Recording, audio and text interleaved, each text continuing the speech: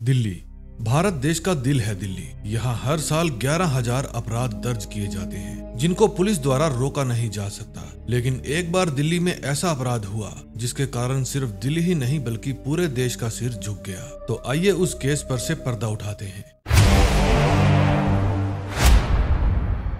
एक रात दस बजकर अड़तीस मिनट पर रात को गश्त पर निकली हुई एन टीम, यानी National Highway Authority of India की टीम को सड़क के किनारे दो लोग बिना कपड़े के पड़े हुए दिखते हैं। फिर वे कार से उतरकर वहाँ पर देखने जाते हैं। वहाँ एक गड्ढे में बिना कपड़ों के एक लड़का और एक लड़की पड़े हुए थे। फिर वे पुलिस कंट्रोल रूम में फ़ोन करके वहाँ सहायता बुलाते हैं। फिर वहाँ पुलिस की कार आती है। पुलिस वाले पास के ही एक होटल से चादर मंगवाकर उन दोनों को चादर से ढककर अपनी कार में बिठाते हैं। लड़का ठीक था, लेकिन लड़की की हालत ज़्यादा खराब थी। फिर पूछने पर लड़का बताता है कि एक बस में छह लोग थे। उन्होंने हमारा सामान और कपड़े छीन लिए। हमें बहुत मारा और चलती गाड़ी से नीचे फेंक दिया। फिर उन दोनों को हॉस्पिटल ले जाया जाता है। लड़की दर्द से कराह रही थी। डॉक्टर पूछती है, क्या हुआ तुम्हें? वो दर्द भरी आवाज़ में बताती है कि मुझे लोहे की राड से मारा गया है। उन्होंने लोहे की राड को मेरे नीचे डाल दिया। शायद उन्होंने मेरे अंदर से मांस निकाल लिया। तभी वहाँ उस लड़की के माँ बाप भी आ जाते हैं। उस लड़की का नाम दीपिका और लड़के का नाम आकाश था। दीपिका अपने पापा को देखकर कहती है, पापा, बहुत दर्द हो रहा है। फिर हवलदार दीपिका के पापा को वहाँ से बाहर ले जाता है। फिर वो उनको बिठाकर वापस कंट्रोल रूम में रिपोर्ट करने जाता है। वो बताता है कि मैंने पीड़ित व्यक्तियों को हॉस्पिटल पहुँचा दिया है। दोनों ही नग्न अवस्था में पाए गए थे।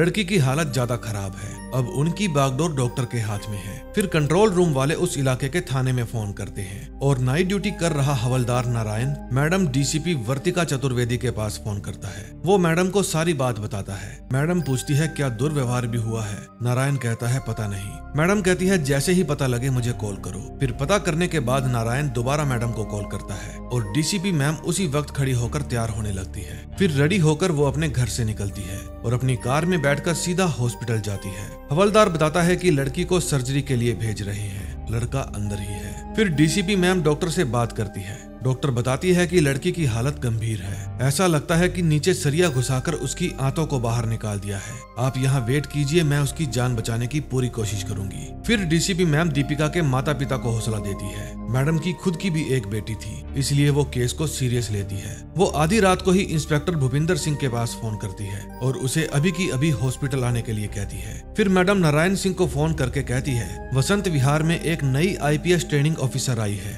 नीति सिंह। मुझे उसका नंबर चाहिए। फिर मैडम उसके पास भी फ़ोन करके उसे अपने पास बुला लेती है। इंस्पेक्टर भूपिंदर सिंह अपने साथ एसएचओ सुभाष गुप्ता और एसएचओ राकेश वर्मा को भी लेकर आया था। मैडम पूछती है, एसएचओ विनोद कहाँ है? भूपिंदर सिंह कहता है, उसको फ़ोन किया था, लेकिन वो जवाब नहीं दे रहा। फिर मैडम उन सबको साथ लेकर आकाश के पास जाती है, ताकि उसका बयान ले सके। आकाश बताता है कि मैं और दीपिका सिलेक्ट सिटी वॉक गए थे, मूवी देखने के लिए। वहाँ से वापिस आते समय हमें द्वारका के लिए कोई ऑटो नहीं मिल रहा था। फिर हम ऑटो में बैठकर मुनीर का बस स्टैंड आ गए। फिर वहाँ से हमें द्वारका के लिए एक बस मिल गई। उस बस में ही हम पर हमला हुआ था। बस में छह लोगों ने हम पर हमला किया। मैडम पूछती है, तुम्हें किसी का नाम पता है? वो बताता है कि एक का नाम ब्रिजेश और एक का नाम विकास था। वे लोग रोड से मुझे मार रहे थे। फिर दीपिका ने ड्राइवर से हेल्प मांगी। फिर ड्राइवर आया और दीपिका को घसीट कर पीछे ले गया। वे लोग मुझे पीछे नहीं जाने दे रहे थे। तभी पीछे से आवाज़ आती है कि लड़की मर गई। फिर उन्होंने हमारा सब कुछ छीन लिया और हमारे कपड़े उतारकर हमें चलती बस से बाहर फेंक दिया। वे एयरपोर्ट फ्लाईओवर से बस घुमाकर फिर से आए और हमें बस से कुचलने की कोशिश की। मैंने हौसला करके दीपिका को सड़क के किनारे घसीट लिया और फिर वे लोग चले गए। फिर थोड़ी देर बाद वहाँ पुलिस आ गई, लेकिन वो काफ़ी देर तक रुकी रही। हमें तुरंत हॉस्पिटल नहीं लेकर गई। मैडम कहती है कि वे हाईवे पेट्रोल कार होगी, पीसीआर की तरह ही दिखती है, लेकिन उसमें कोई सुविधा नहीं होती।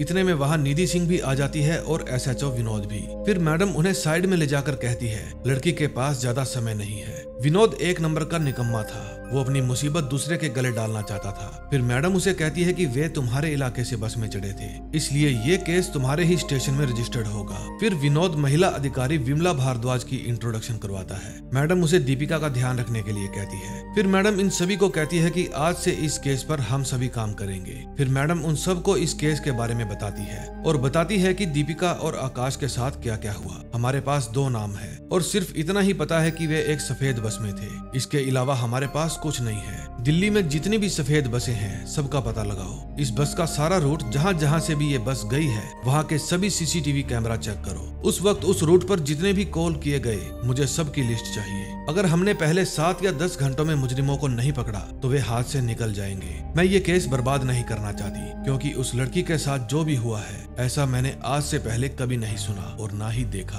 किसी को कुछ भी पता चले तो वो मुझे या भूपेंद्र को रिपोर्ट करेगा। मुझे गलती की कोई गुंजाइश नहीं चाहिए। और विनोद तुम इस केस से दूर रहोगे। फिर मैडम निधि सिंह को कहती है कि दीपिका, आकाश और उसके माता पिता इन सब का ख्याल तुम रखोगी। अगर उन्हें कोई भी चीज़ चाहिए खाना पीना या कपड़े, उसका बंदोबस्त तुम करोगी। अगले दिन सुबह डीसीपी मैम अपने हस्बैंड को फ़ोन करती है और बताती है कि शायद मैं आज भी घर नहीं लौटूँगी। फिर वो अपने हस्बैंड को अपनी बेटी का ख्याल रखने के लिए कहती है और अपने लिए यूनिफॉर्म भेजने के लिए कहती है। मैडम भूपेंद्र को कहती है कि जब तक ये केस सोल्व नहीं हो जाता, मैं तुम्हारे ऑफ़िस में ही बैठूँगी। भूपिंदर पूछता है, मैम, हमने आज से पहले बहुत से ऐसे केस हैंडल किए हैं। इस केस में ऐसा क्या है? मैडम कहती है, तुमने लड़की की हालत नहीं देखी। अगर ये हमारी बेटियों के साथ हुआ होता तो तुम पता नहीं क्या करते। फिर सब इंस्पेक्टर जयराज सिंह एक होटल में सीसीटीवी कैमरा चेक करने जाते हैं। उस होटल का कोई भी कैमरा रोड की तरफ़ नहीं लगा हुआ था। फिर एसएचओ राकेश अपने एक खबरी के पास फ़ोन करता है और उसे पालम के सारे ट्रांसपोर्टरों की लिस्ट इकट्ठा करने के लिए कहता है, जिसमें उनके मालिकों का नंबर भी होना चाहिए। हॉस्पिटल में डॉक्टर आकर दीपिका के घर वालों से मिलती है और कहती है कि हमने ट्रीटमेंट शुरू कर दिया है। उसकी हालत अभी भी क्रिटिकल है। अभी कुछ कहा नहीं जा सकता, लेकिन हम अपनी पूरी कोशिश कर रहे हैं। विमला भारद्वाज दीपिका से मिले डीएनए कल्चर, ब्लड रिपोर्ट और यूरिन सैंपल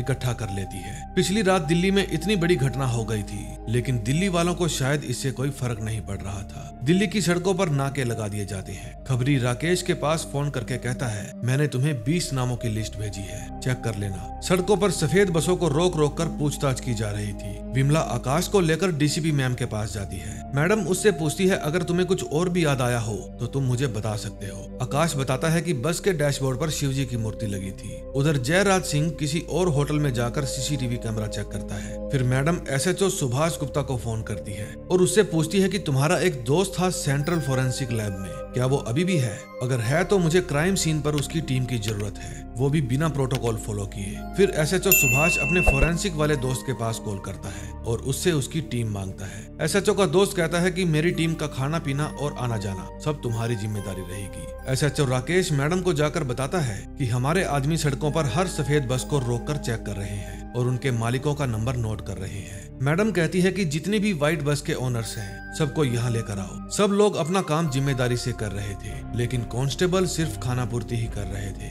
जिस बस के अंदर कांड हुआ था, वो बस उनके हाथ भी लग जाती है, लेकिन वे बस की पहचान नहीं कर पाते। इसलिए वे उस बस को जाने देते हैं। ये इंडिया है भैया, यहाँ कुछ भी हो सकता है।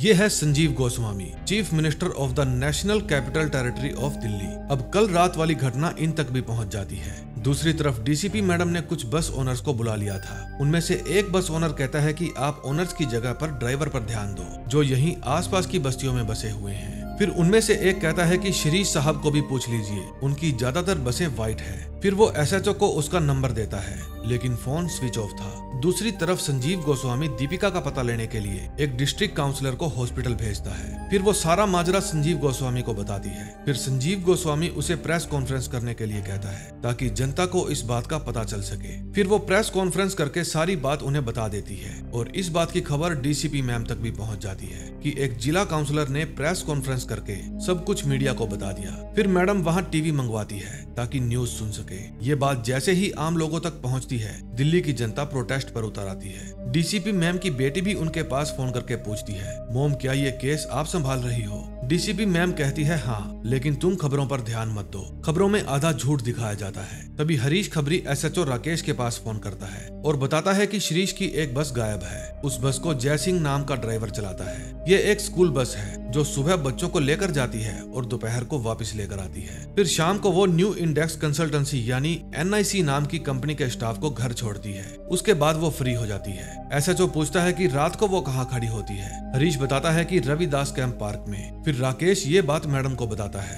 हरीश बताता है कि वो बस कल रात से गायब है। राकेश कहता है, पता तो हम खुद लगा लेंगे बेटा, कि वो बस है कहाँ? अब पुलिस वालों के पास तीन नाम थे, ब्रिजेश, विकास और जय सिंह तभी पास में बैठा एक बस ओनर कहता है, मेरा भी बस क्लीनर सुबह से गायब है। उसका नाम आलोक कुमार है। उसका फ़ोन स्विच ऑफ़ आ रहा है। फिर मैडम ऑर्डर देती है कि इस केस में कोई भी जूनियर कांस्टेबल मत लगाओ। सभी इंस्पेक्टर या सब इंस्पेक्टर होने चाहिए। ये है Gururaj Dikshit minister of home affairs Sanjeev Goswami कल रात वाली बात इन्हें आकर बताता है और कहता है कि कहीं न कहीं पुलिस से चूक हुई है। गुरुराज दीक्षित कहते हैं कि पुलिस जितना अच्छा काम कर सकती है, उतना अच्छा कर रही है। अब एसएचओ सुभाष गुप्ता अपनी फोरेंसिक टीम को लेकर वारदात वाली जगह पर पहुँच जाता है। दूसरी तरफ़ सब इंस्पेक्टर प्रकाश शुक्ला और अशोक शर्मा। दोनों जयसिंह का पता लगाने के लिए उसकी बस्ती में जाते हैं। उन्हें पता चलता है कि वो अपने भाई के पास गया है, महरौली में। पुलिस स्टेशन में भूपिंदर सिंह अपने एक सरताज नाम के दोस्त को बुलाता है। उसकी भी दिल्ली में बहुत सी बसें चलती हैं। ये इन सब की इस केस में हेल्प करने के लिए आया था। फिर वे आकाश से इस बस के रूट के बारे में पूछते हैं। वो बताता है कि पिकअप पॉइंट से ड्रॉप पॉइंट के बीच तीन चार बार बस ने मोड़ लिए थे और रास्ते में मलाई मंदिर दो बार आया था। ये लोग करीब 40 से 45 मिनट तक बस में थे। फिर भूपिंदर सिंह बताता है कि पिकअप पॉइंट से ड्रॉप पॉइंट के बीच का रास्ता 20 मिनट का है। इसका मतलब उन्होंने बस को दो बार इस रोड पर घुमाया है। अब हमें वहाँ पर बने होटल्स के सीसीटीवी कैमरा से ही कुछ मिल सकता है। आकाश बताता है कि उस बस के पीछे का दरवाज़ा खोलने पर भी नहीं खुल रहा था। फिर पास बैठा बस ओनर बताता है कि वो सीएनजी स्कूल बस होगी।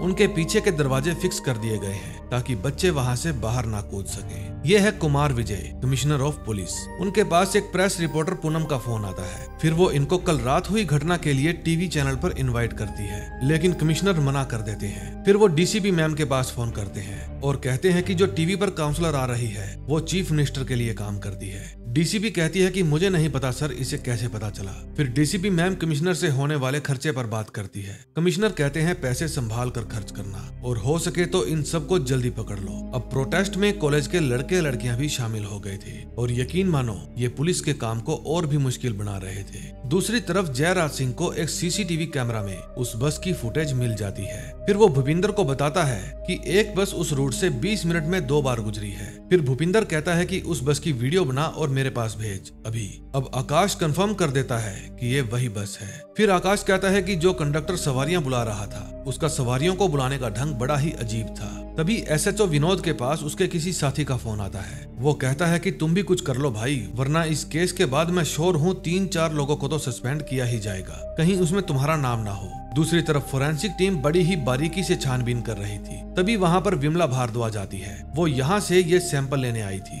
ताकि उनको सी एफ़ एस एल पहुँचा सके। विमला कहती है कि पंद्रह साल के करियर में मैं आज पहली बार किसी फोरेंसिक टीम को इस तरह सड़क पर ड्यूटी करते देख रही हूँ। अब उस बस की फ़ोटो दिल्ली के सभी पुलिस वालों को भेज दी जाती है। मैडम ऑर्डर देती है कि पुलिस वालों को बिना वर्दी रविदास कैंप भेजो। हमें जय सिंह को पकड़ना है। तभी सरदार जी सबको बुलाते हैं और बताते हैं कि उस बस का फ्रंट लेफ़्ट साइड का व्हील कैप भी मिसिंग है। फिर डीसीपी मैम भूपिंदर को कहती है, तुम लोगों की जितनी भी टीम्स रविदास कैंप में है, उन सबको बताओ कि उस बस के पीछे का दरवाज़ा फिक्स है। उसके अंदर डैशबोर्ड पर शिव जी की मूर्ति लगी है। बस के बाहर शिरीष ट्रेवल लिखा हुआ है और फ्रंट लेफ़्ट साइड का व्हील कैप भी मिसिंग है। अब दिल्ली के न्यूज़ रिपोर्टर अपनी ही तरफ़ से झूठ परोस रहे थे कि दो घंटे तक लड़का लड़की ठंड में सड़क के किनारे पड़े रहे, लेकिन दिल्ली पुलिस वहाँ पर खड़ी खड़ी तमाशा देख रही थी। कमिश्नर भी इस तरह की फेक न्यूज़ से परेशान हो चुके थे। फिर वो मंत्री जी से बात करते हैं। मंत्री जी उन्हें कहते हैं कि तुम प्रेस कॉन्फ्रेंस बुलाओ और उन्हें सब कुछ सच सच बताओ। फिर कमिश्नर साहब डीसीपी मैम के पास फ़ोन करते हैं और कहते हैं कि ये गैर जिम्मेदार न्यूज़ चैनल कुछ भी अनाप शनाप दिखा रहे हैं। ये लोगों को गुमराह कर रहे हैं।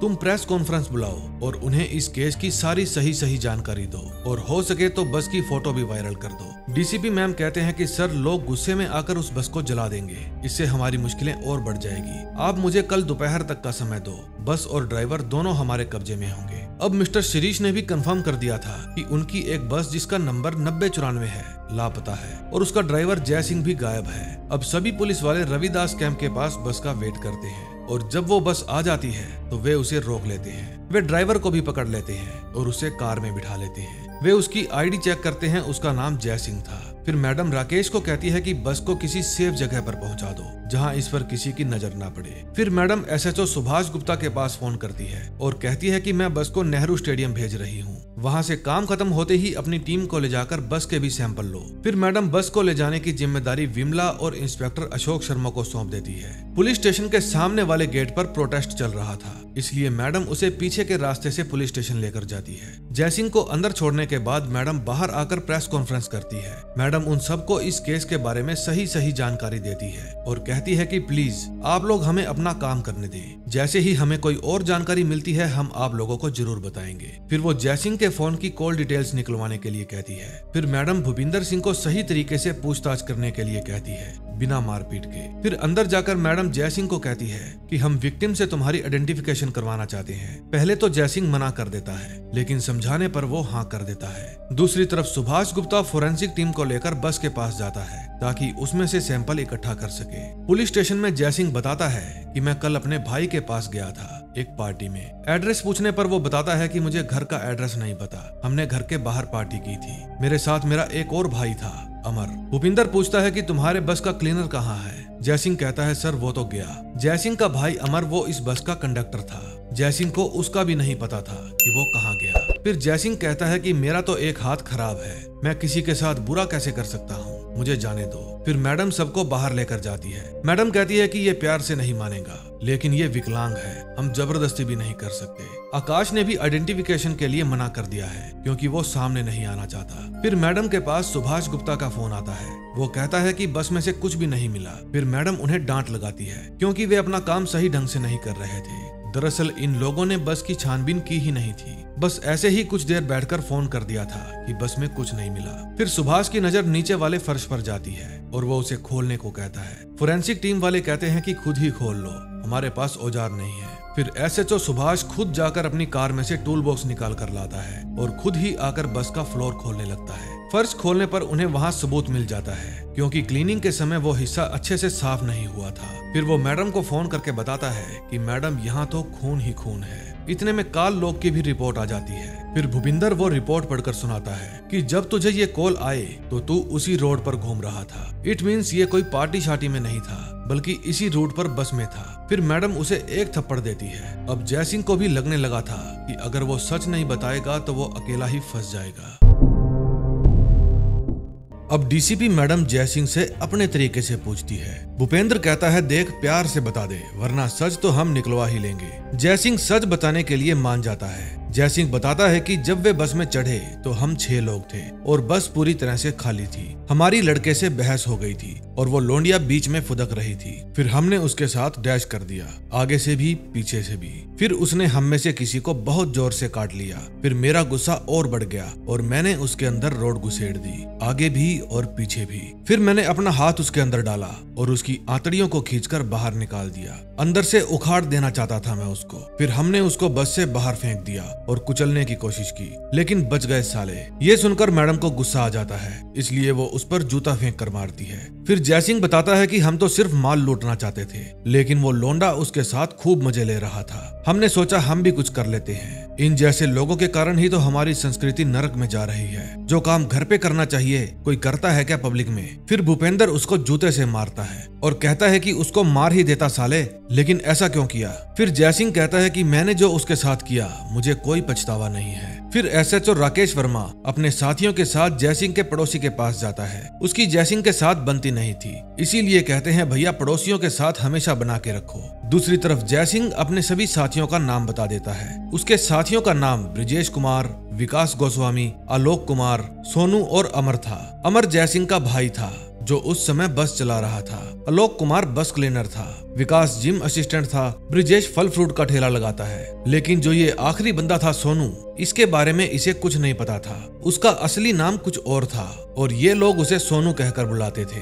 वो बताता है कि सोनू पहले मेरे साथ कंडक्टर का काम करता था। वो अजीब अजीब आवाज़ें निकालकर ग्राहकों को बुला लेता है। इसीलिए उसे जल्दी से जॉब मिल जाती है। फिर मैडम जयसिंह के फ़ोन की तीन चार महीने पहले की डिटेल निकलवाने के लिए कहती है। दूसरी तरफ़ जयसिंह का पड़ोसी बताता है की मेरे पास विकास का फ़ोन आया था। वो कल उन लोगों के साथ ही था। पूछ रहा था कि पुलिस तो नहीं आई, मैंने मना कर दिया। फिर सुधीर के पास भूपेंद्र का फ़ोन आता है। वो सुधीर को बताता है कि जयसिंह का एक भाई मेहरोली में रहता है। शायद अमर वहीं गया होगा। तुम अभी वहाँ के लिए निकलो। अब जयसिंह को लॉकअप में बंद कर दिया जाता है। फिर मैडम के पास उसके हस्बैंड का और भूपेंद्र के पास उसकी वाइफ का फ़ोन आता है। वो पूछती है कि घर कब आओगे? भूपेंद्र कहता है कि अभी कुछ दिन और लग सकते हैं। दूसरी तरफ़ सुधीर मेहरोली में जयसिंह के भाई के पास पहुँच जाता है। वो बताता है कि वो तीन चार दिन से अपने भाइयों से नहीं मिला है। सुधीर को पता चलता है कि वो करोली गाँव का रहने वाला है, जो कि राजस्थान में है। फिर सुधीर उसको धमकाकर उसके फ़ोन से उसके गाँव में फ़ोन करवाता है। गाँव में उसकी माँ रहती है। उसकी माँ बताती है कि अमर कल रात को यहाँ आया था। फिर सुधीर उसका फ़ोन ले लेता है और अपने एक आदमी को वहीं छोड़ देता है। दूसरी तरफ़ जयसिंह का पड़ोसी बताता है कि वो रहा विकास।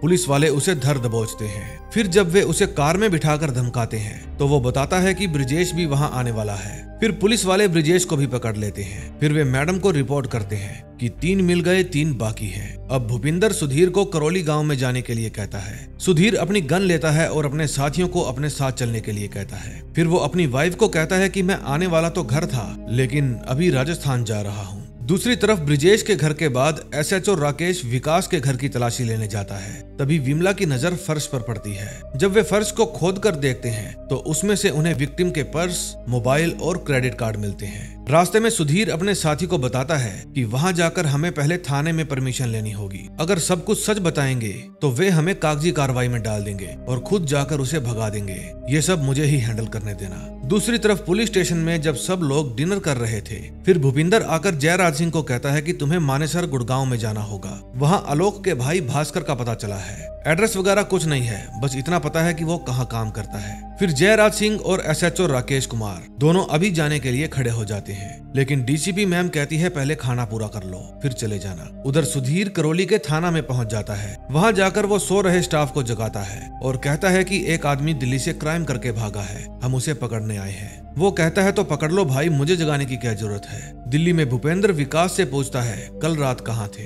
वो कहता है कि चर्च में था, अपने दोस्तों के साथ। फिर वो दूसरे रूम में जाकर ब्रिजेश से पूछता है, तू कहाँ था? वो कहता है कि पार्क में था, अपने दोस्तों के साथ। दोनों के बयान मैच ही नहीं हो रहे थे। तभी भूपेंद्र की नज़र ब्रिजेश के पाँव पर पड़ती है। वहाँ काटने का निशान था। ब्रिजेश कहता है, मैं गिर गया था, ये उसी का निशान है। फिर भूपिंदर गुस्से में आकर उसके कान के नीचे दो देता है और वापिस विकास के पास जाता है। वो विकास को कहता है, तू भी मार खाकर सच बताएगा क्या? इससे अच्छा होगा तू पहले ही बता दे। विकास सच कबूल कर लेता है। उधर राजस्थान में सुधीर दो आदमियों से अमर सिंह का पता पूछता है। वे बताते हैं कि पास में ही एक नदी है। नदी के पास कार खड़ी करके पैदल पार करनी होगी। नदी के उस पार एक छोटी सी बस्ती है। अगर वहाँ कार से जाओगे तो 30-40 किलोमीटर लंबा रास्ता पड़ेगा। पुलिस स्टेशन में विकास और ब्रिजेश उस रात बस में जो कुछ भी हुआ, सब कुछ डिटेल से बता रहे थे। वे कहते हैं कि विकास उस दिन पागल हो गया था। उसी ने लड़की में रोड डाली और उसकी आते बाहर निकाल दी। वो हम सबसे बड़ा है। वो ही हमें बताता है हमें क्या करना है, क्या नहीं। अपनी बीवी के मरने के बाद वो पागल सा हो गया है।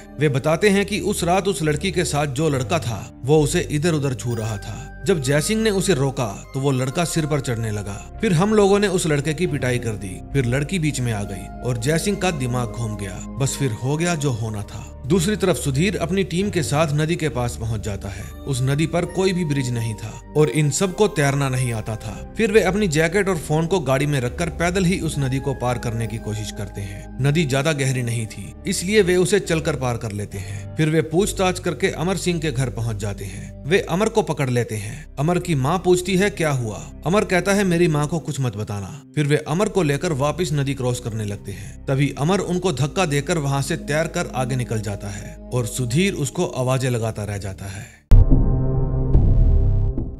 सुधीर अमर को आवाज़ लगाता है, या तो तू वापिस आ जा, या फिर मैं तेरी माँ को सब कुछ सच सच बता दूँगा। तेरे पूरे परिवार की इज़्ज़त मिट्टी में मिल जाएगी फिर अमर कहता है, सर, ये काम बिल्कुल मत करना। आप आ जाओ, मैं यहीं वेट करता हूँ फिर सुधीर मैडम को बताता है कि अमर सिंह मिल गया है। मैडम कहती है, जल्दी आ जाओ। हमें 24 घंटे के अंदर इसे मैजिस्ट्रेट के सामने पेश करना है। अगले सीन में हम देखते हैं कि जयराज सिंह गुड़गांव के एक इलाके में पहुँच जाता है, जहाँ भास्कर काम किया करता था। फिर वो वहाँ के लोगों से भास्कर के बारे में पूछता है। एक आदमी उसे जानता था, इसलिए वो जयराज सिंह को वहाँ पर ले जाने के लिए मान जाता है। फिर जयराज सिंह और राकेश कुमार भास्कर को पकड़ लेते हैं। जब उसके कान पे दो पड़ती है तो वो तोते की तरह सब कुछ बक देता है। वो बताता है कि मेरा भाई कल आया था और अपने खून वाले कपड़े चेंज करके यहाँ से चला गया। राकेश पूछता है कहाँ गया है वो? उसका भाई बताता है कि वो बिहार में औरंगाबाद के पास छपरा गाँव में गया है। फिर मुजरिम की हेल्प करने के जुर्म में पुलिस वाले उसे भी उठा लेते हैं। पुलिस स्टेशन में एक बांके लाल नाम का आदमी मैडम से आकर मिलता है। वो कहता है कि 16 दिसंबर की रात मैं भी उस बस में चढ़ा था। बस में उस समय मैं अकेला ही था। फिर मुझे भी छह आदमियों ने पीट कर मेरा सामान छीन कर मुझे बस से नीचे फेंक दिया। किसी ने भी मेरी हेल्प नहीं की। फिर मैंने एक ऑटो वाले से फ़ोन लेकर अपने भाई को फ़ोन किया। वो आकर मुझे अपने घर ले गया।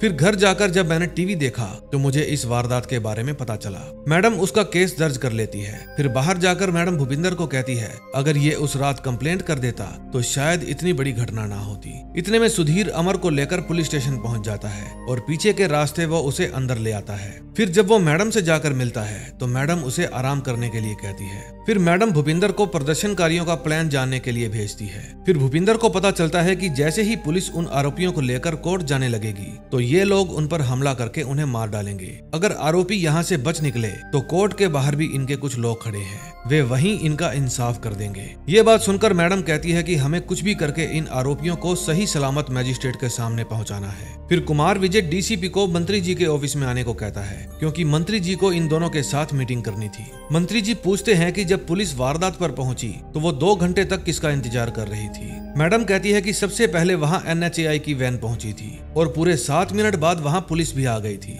पुलिस वहाँ पहुँचते ही उन्होंने अपना काम शुरू कर दिया, बल्कि वहाँ और भी लोग थे। उनमें से किसी ने भी इनको हॉस्पिटल ले जाने की जहमत नहीं उठाई। पुलिस ने अपना काम बिल्कुल सही तरीके से किया है। मंत्री जी कहते हैं, लोग ये जानना चाहते हैं कि जब ये घटना हो रही थी, तब पुलिस उन्हें बचाने क्यों नहीं आई? कुमार विजय कहते हैं, सर, किस जगह क्या घटना हो रही हो? इसका तब तक पुलिस को पता नहीं चलता जब तक कोई पुलिस को बताता नहीं। बस के आगे या पीछे वाली कारों ने भी तो कुछ देखा सुना होगा। ये जनता खुद तो जागरूक नहीं है, लेकिन पुलिस से उम्मीद करती है कि वो क्राइम होने से पहले ही वहाँ पहुँच जाए। फिर मंत्री जी कहते हैं, चार लोग आप पकड़ चुके हैं।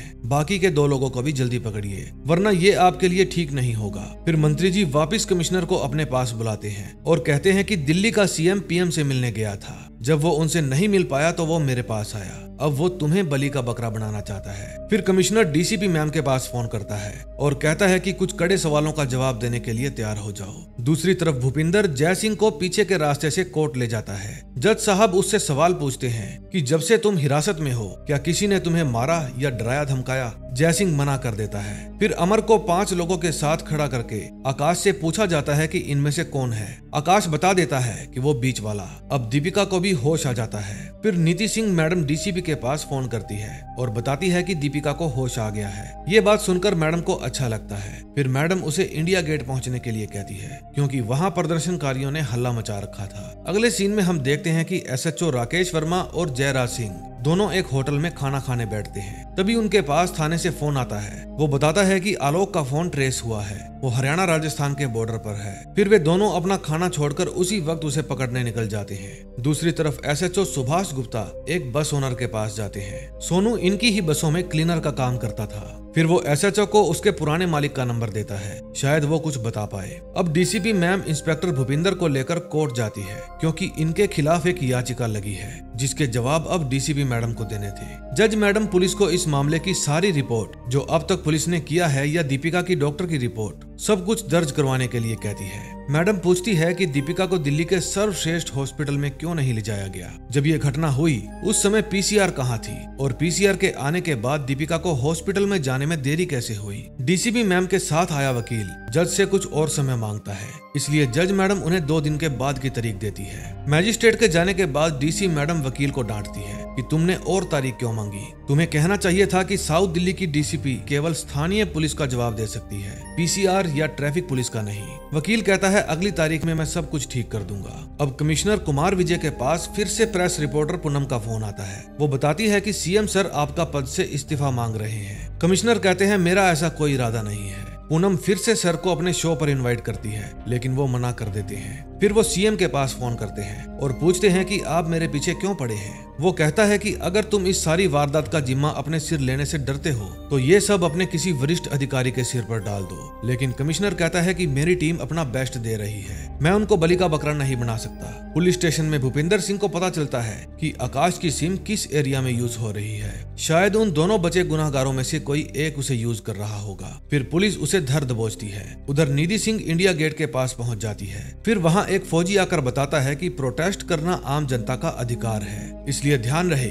किसी को भी चोट नहीं लगनी चाहिए। वहाँ दिल्ली पुलिस हाय हाय के नारे लग रहे थे। दूसरी तरफ़ राजेश वर्मा और जयराज सिंह आलोक को पकड़ने जाते हैं। उसकी भाभी कहती है कि वो यहाँ आया था, लेकिन साथ की साथ चला गया। राजेश ये सब बात भूपिंदर को बताता है। भूपिंदर उस समय उस आदमी से पूछताछ कर रहा था, जिसके पास विक्टिम आकाश का सिम कार्ड मिला था। वो बताता है कि ये सिम मुझे सड़क पर मिला था। मैंने इसे चलाकर देखा तो ये चल रहा था। दूसरी तरफ़ एसएचओ सुभाष गुप्ता। सोनू को ढूँढने में लगा था। वो हर ठेले वाले से पूछता है कि किसी सोनू को जानते हो जो बस धोने का काम करता है? अब ब्रिजेश, विकास और अमर को हॉस्पिटल ले जाया जाता है। फिर वहाँ उनके कुछ सैंपल लिए जाते हैं, ताकि बस में मिले सबूतों से मैच कर सके। पुलिस स्टेशन में विक्टिम आकाश की सिम की डिटेल्स निकलवाई जाती है। उससे ये साबित हो जाता है कि ये लड़का बेगुनाह है, इसलिए उसे वहाँ से जाने दिया जाता है। एसएचओ विनोद कुमार आकर बताता है कि विक्टिम आकाश अब पुलिस स्टेशन में नहीं रहना चाहता, वो यहाँ से जाना चाहता है। डीसीपी मैम कहती है कि वो कहीं नहीं जा सकता। जब तक ये केस सोल्व नहीं हो जाता।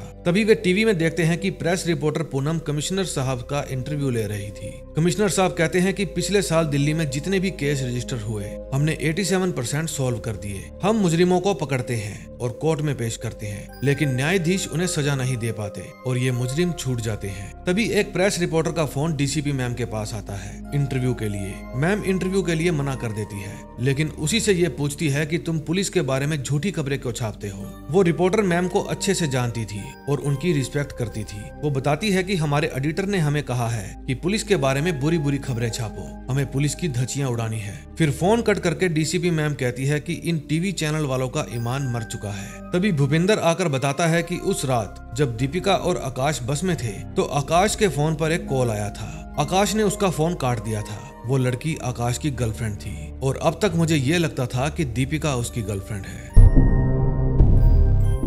जब उस नई लड़की के बारे में डीसीपी मैम को पता चला तो मैडम का दिमाग खराब हो गया। भूपेंद्र कहता है, और बातें चाहे ना मिलती हो, लेकिन सभी सस्पेक्ट की एक बात तो मिलती है, कि वो लड़का गलत था। बच्चे बच्चे को पता है कि बसों में इस तरह की हरकत नहीं करनी चाहिए। बेचारी दीपिका ने गलत लड़के के चक्कर में अपनी ज़िंदगी खराब कर ली। हॉस्पिटल में नीति दीपिका से बातें कर रही थी, तभी उन्हें बाहर से शोर सुनाई देता है। जब वो बाहर जाकर देखती है तो एक नर्स बताती है कि ये प्रेस रिपोर्टर झूठ बोलकर यहाँ आ गया है। और ये दीपिका की तस्वीरें खींच रहा था। फिर निधि उसका कैमरा रख लेती है और हवलदार को उसे बाहर भेजने के लिए कहती है। दिल्ली में हर जगह ही दंगे नहीं हो रहे थे। कुछ लोग शांति से भी अपना प्रदर्शन कर रहे थे। हर जगह कैंडल मार्च निकाला जा रहा था। पुलिस स्टेशन में आकाश मैडम से घर जाने की रिक्वेस्ट करता है। मैडम कहती है कि जल्दी ही तुम घर जाओगे, लेकिन फ़िलहाल नहीं। इन आरोपियों को सजा दिलवाने के लिए तुम्हारी ज़रूरत पड़ेगी। तभी हम देखते हैं कि दो हवलदार जाकर जय सिंह को परेशान करते हैं। वे उसे सोने नहीं देते।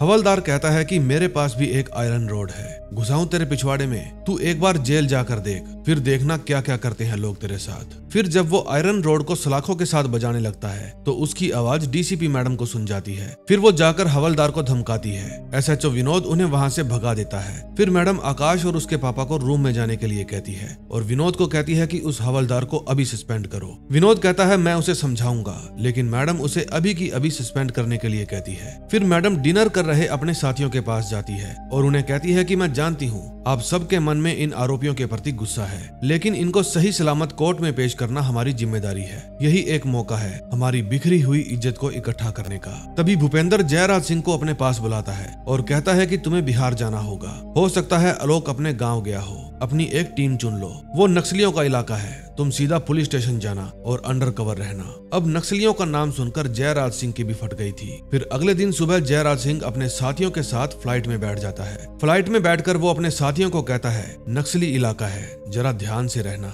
हगने मूतने कहीं भी जाओ तो पुलिस को साथ लेकर जाना। दूसरी तरफ़ भूपिंदर सुधीर को बुलाता है और कहता है की तुम आनंद विहार बस स्टैंड पर जाओ। सोनू पहले वही काम किया करता था। कुछ भी करो यार, उसे ढूंढ कर लाओ। बिहार पहुंचकर जयराज और उसकी टीम को एक इंडियोर कार मिल जाती है। फिर वे उसमें बैठकर छपरा की तरफ़ जाने लगते हैं। दूसरी तरफ़ सुधीर आनंद विहार बस स्टैंड पर पहुँच जाता है, सोनू का पता लगाने के लिए। वहाँ जाकर वे तीनों अलग अलग हो जाते हैं। अब सोनू नाम इतना कॉमन था कि किसी से भी पूछो, हर कोई किसी सोनू को जानता ही था। लेकिन बस साफ़ करने वाला सोनू तो एक ही था। तभी उन्हें बस में एक आदमी मिलता है। वो कहता है की मैंने सोनू को सहारनपुर में देखा है। वो यहाँ से 100 किलोमीटर दूर है। फिर सुधीर अपने साथियों को वहाँ छोड़कर खुद उसके साथ सहारनपुर जाता है। अब जयराज और उसके साथी पुलिस स्टेशन पहुँच जाते हैं। वहाँ पहले उनकी तलाशी ली जाती है। जब वे अंदर जाते हैं तो स्टेशन का एसएचओ उन्हें बताता है कि अगर नक्सलियों को पता चल गया कि तुम सेंट्रल गवर्नमेंट ऑफिसर हो तो तुम लोगों के लिए बड़ी मुसीबत खड़ी हो जाएगी, क्योंकि नक्सलियों का सेंट्रल गवर्नमेंट से झगड़ा बहुत पुराना है। लेकिन हमारे होते हुए चिंता मत करना।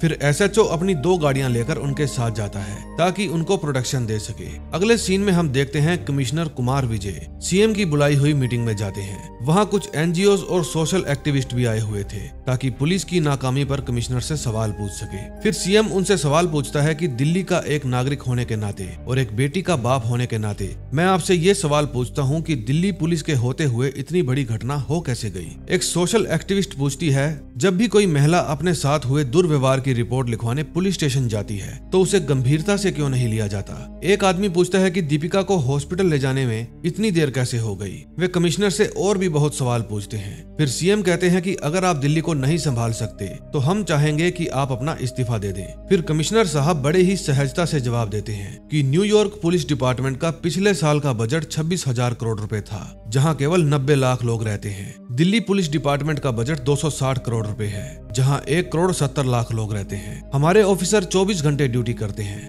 बिना ओवर टाइम के पैसे लिए। हम जानते हैं कि भयानक अपराध हुआ है। हमने केस को लगभग सुलझा ही लिया है। और बात रही पुलिस के काम करने ना करने या दुर्व्यवहार की तो आप मुझे फैक्ट्स के साथ बताइए। मैं उस पर कड़ी कार्रवाई करूँगा। मुझे और कुछ नहीं कहना। फिर कमिश्नर साहब वहाँ से चले जाते हैं। सीएम साहब कहते हैं कि ज़ाहिर सी बात है, कमिश्नर साहब की डेडिकेशन पर शक नहीं किया जा सकता। लेकिन अगर दिल्ली पुलिस मेरे कंट्रोल में होती तो बेहतर काम हो सकते थे। मैं ये बात पार्लियामेंट में उछालूँगा। दूसरी तरफ़ सुधीर को वो आदमी सहारनपुर में एक सोनू के पास ले जाता है। वो उसे पकड़कर कार में बिठा लेता है। फिर एक दो थप्पड़ मारने के बाद सवाल जवाब करने से पता चलता है कि ये असली सोनू नहीं है। दूसरी तरफ़ वे पुलिस वाले जयराज सिंह को छपरा गाँव में ले जाते हैं। फिर वहाँ जाकर वे एक बूढ़े से मिलते हैं। वो बूढ़ा उनसे पूछताछ करने के बाद इन सबको आलोक का घर बता देता है। फिर एसएचओ उसे सौ रूपए देकर वहाँ से निकल लेता है। फिर वे उसके बताए हुए एड्रेस पर जाते हैं। वहाँ एक औरत और एक आदमी बैठा था। जयराज सिंह पूछता क्या आलोक कुमार यहीं रहता है, वो औरत मना कर देती है। फिर उसकी बीवी पल्लवी बताती है कि कई महीनों से वो यहाँ नहीं आया। फिर वे अंकल जी को ही अपने साथ ले लेते हैं। पुलिस स्टेशन ले जाकर जयराज सिंह अंकल से पूछता है, तुम्हारा बेटा कहाँ है? अंकल कहता है कि, तूने मेरे ही घर में आकर मेरी बहू के सामने मुझे शर्मिंदा किया है। मैं तुझे कुछ नहीं बताऊँगा। फिर जब जयराज सिंह गुस्सा करता है तो एसएचओ उन्हें बाहर भेज देता है। फिर वो खुद अंदर जाकर दरवाज़ा बंद करता है। वो अंकल को बताता है कि, तुम्हारे बेटे ने एक लड़की के साथ गलत काम किया है। अगर पुलिस से पहले वो लोगों के हाथ लग गया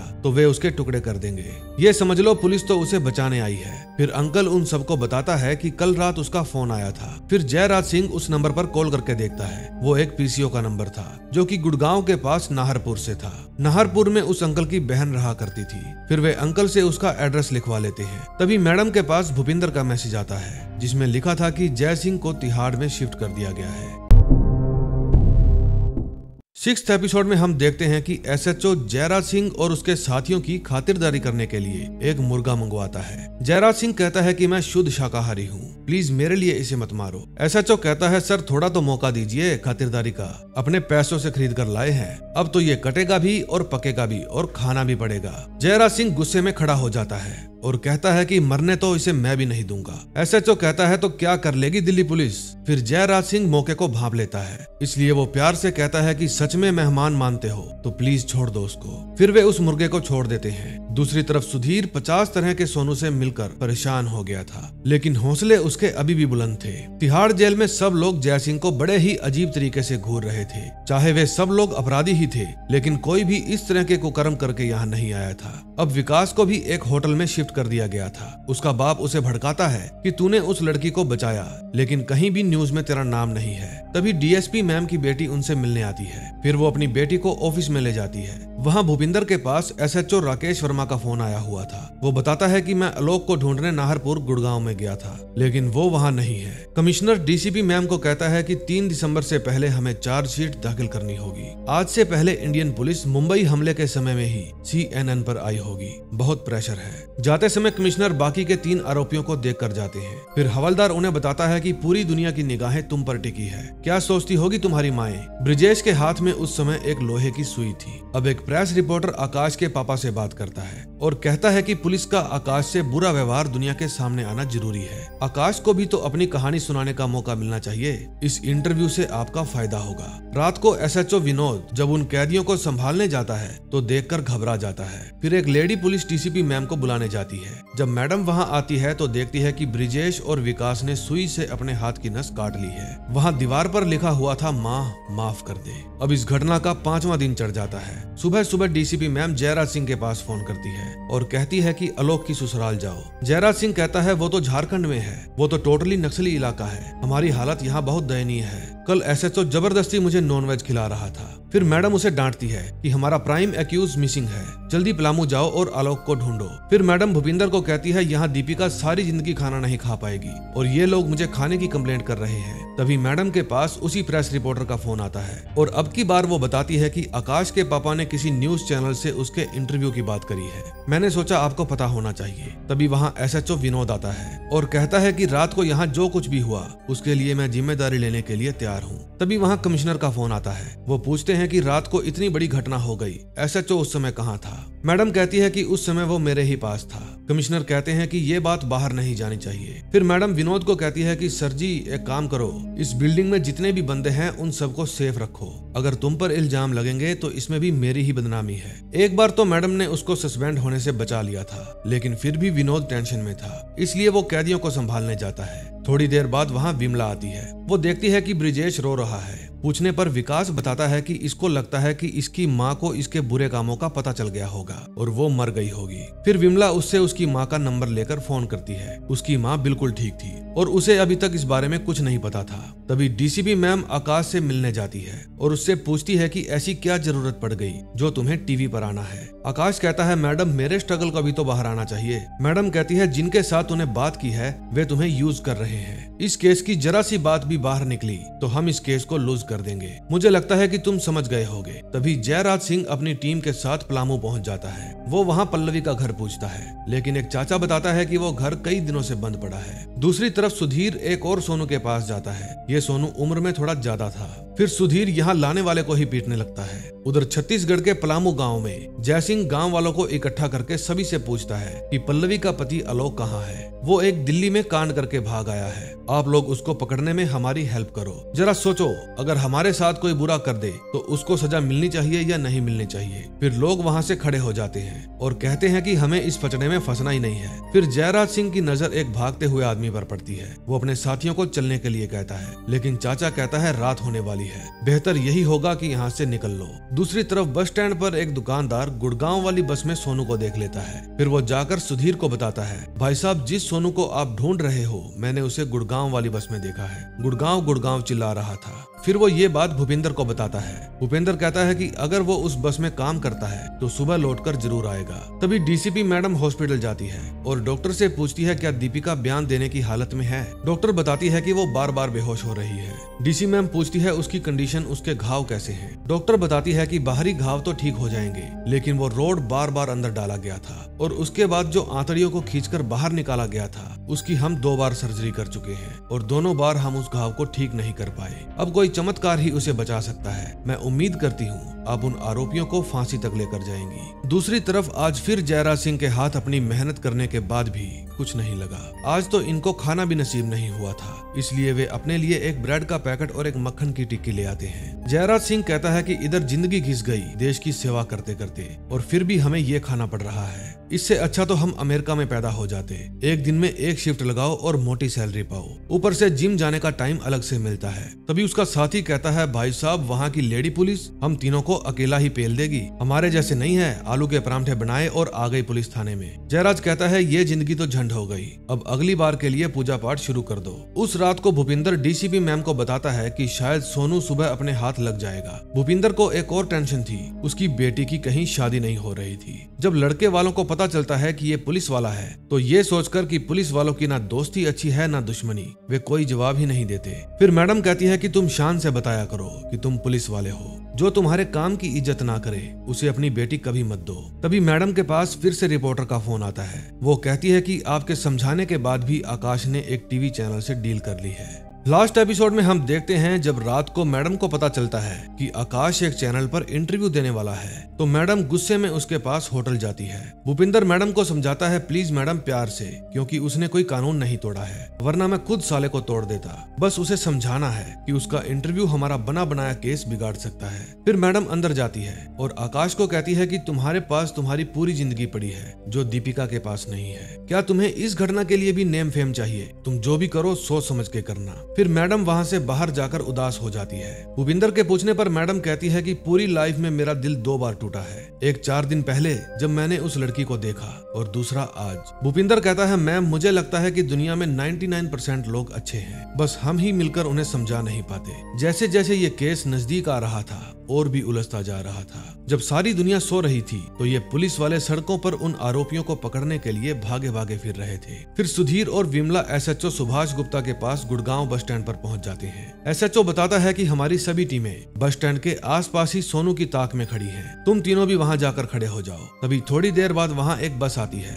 सोनू उसमें नहीं था। फिर वो दुकानदार बताता है कि दूसरी तरफ़ जो अजीब अजीब सी आवाज़ें निकाल रहा है, मुझे लगता है वही सोनू है। फिर पुलिस वाले उसे धर दबोचते हैं। फिर वे उसे पुलिस वैन में बिठा लेते हैं। उस लड़के का नाम अहमद मंसूरी था। उसकी तलाशी लेने पर उन्हें एक फ़ोन मिलता है। ये उसी आदमी का फ़ोन था जिसको इन्होंने वारदात से पहले लूटा था। फिर वो भी मान जाता है कि उस रात वो उसी बस में था। फिर जब उसे वहाँ से बाहर ले जाने लगते हैं तो विमला उसकी उम्र पूछती है। उसे अपनी उम्र पता ही नहीं थी। विमला कहती है, मुझे ये माइनर लगता है। एसएचओ कहता है, पागल हो गई हो क्या? डिफेंस सारा क्राइम इसके माथे मल देगा। इसके चक्कर में वे सभी भी तीन साल में छूट जाएँगे। लेकिन बेवकूफ़ विमला अड़ जाती है कि मैं इसे माइनर में ही बुक करूँगी। फिर जब सोनू के पकड़े जाने के बाद ये बात डीसीपी मैम को पता चलती है तो सब लोग खुशी मनाते हैं। फिर डीसीपी मैम ये बात कमिश्नर को बताती है। दूसरी तरफ़ जयराज सिंह के पास भी वहाँ के एसएचओ का फ़ोन आता है। वो कहता है उठ जाओ सर जी, हमें खबर मिली है कि आलोक घर आ गया है। दिल्ली में लोग अभी भी प्रदर्शन कर रहे थे। वे सभी दीपिका के लिए इंसाफ मांग रहे थे। तभी कमिश्नर साहब के पास कैबिनेट सेक्रेटरी का फ़ोन आता है। वो बताता है कि कल रशियन राष्ट्रपति हैदराबाद हाउस में आने वाले हैं और यहाँ इतने विरोध प्रदर्शन चल रहे हैं। इसके लिए हमें क्या करना चाहिए? डीसीपी मैडम की बेटी भी प्रदर्शनकारियों के साथ थी।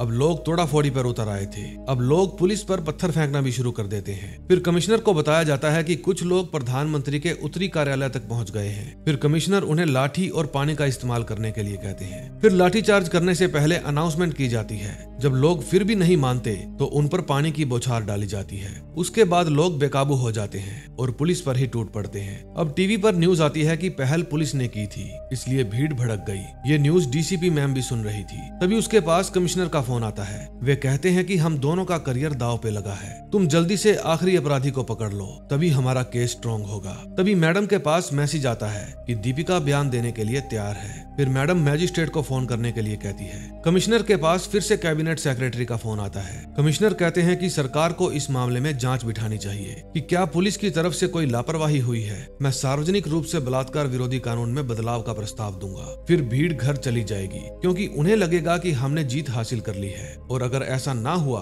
तो पूरी ज़िम्मेदारी मैं लूँगा। बलि का बकरा मैं बनूँगा। थोड़ी देर बाद उस कैबिनेट सेक्रेटरी का फिर से फ़ोन आता है। वो बताता है कि ऑफिशियली पीएम इस जाँच से सहमत नहीं है। उनकी नज़रों में पुलिस सही काम कर रही है। अगर फिर भी आपको लगता है कि इस जाँच से पब्लिक शांत हो जाएगी तो हम ऐसा करेंगे। फिर वो बताता है कि आज प्रदर्शन में मुख्यमंत्री का बेटा भी देखा गया था। उसको लोगों ने घेर लिया था। बड़ी ही मुश्किल से पुलिस ने उसे बचाया। फिर कमिश्नर मुख्यमंत्री के पास फ़ोन करता है और पूछता है कि अब आपके बेटे की तबीयत कैसी है? सुना है पब्लिक उसे पीटने वाली थी, लेकिन पुलिस ने उसे बचा लिया। मुख्यमंत्री फ़ोन कट कर देते हैं। दूसरी तरफ़ जयराज सिंह एसएचओ को लेकर फिर से उस बूढ़े के पास जाते हैं। वो बूढ़ा बताता है कि आपका आदमी यहाँ आ गया है। जाओ पकड़ लो उसे। फिर वे सब उसके घर के आसपास और छतों पर सिपाही खड़े कर देते हैं, ताकि वो भाग ना पाए। फिर जैसे ही जयराज सिंह उसके घर जाता है, वो छत पर भाग जाता है। फिर घर से थोड़ी दूर जयराज सिंह उसे पकड़ लेता है। फिर वे कंफर्म करने के लिए उसको उसके माँ बाप के पास लेकर जाते हैं। वे कहते हैं, यही है आलोक कुमार। उसकी वाइफ कहती है, यही है हरामी।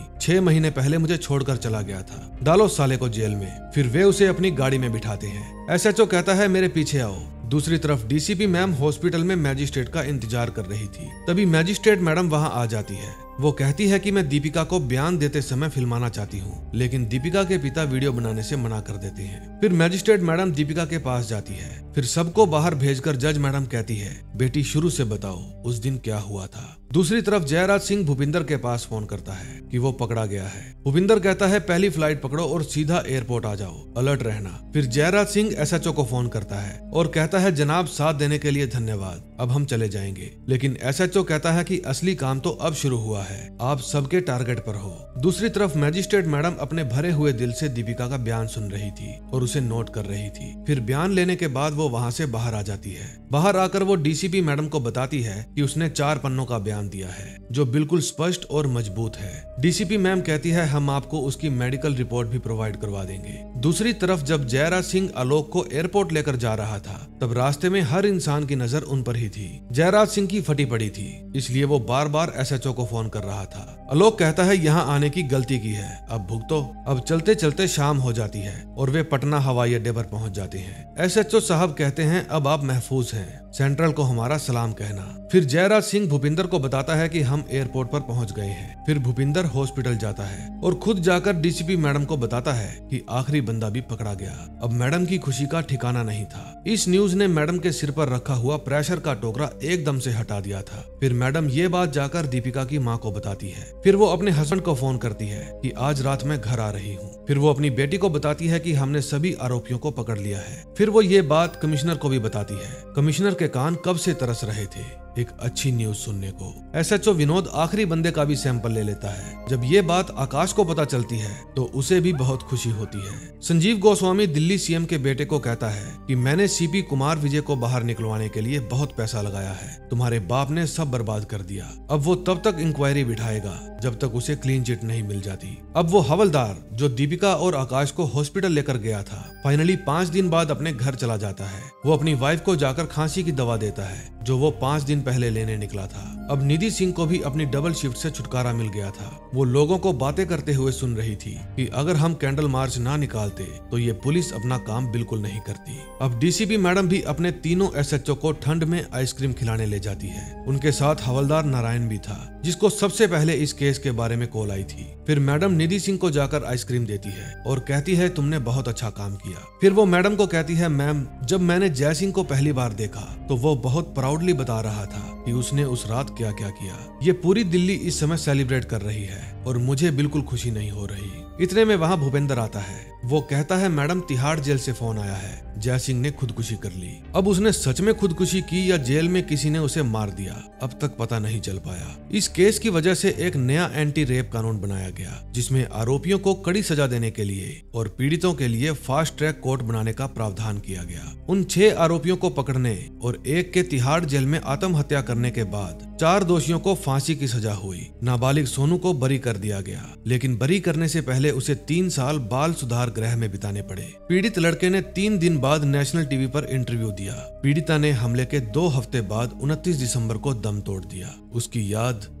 आज भी ज़िंदा है। दोस्तों, अगर आपने ये वीडियो पूरी देख ली तो आप समझ ही गए होंगे कि ये किस केस पर बेस्ड है। दोस्तों, मुझे ये वीडियो बनाने में कई दिन लग गए। अगर आपको ये वीडियो अच्छी लगी हो तो प्लीज़ वीडियो को लाइक और चैनल को सब्सक्राइब कर दीजिए। हम ऐसी ही वीडियोस अपने चैनल पर लाते रहते हैं। तो मिलते हैं नए दिन नई स्टोरी के साथ। Till then bye bye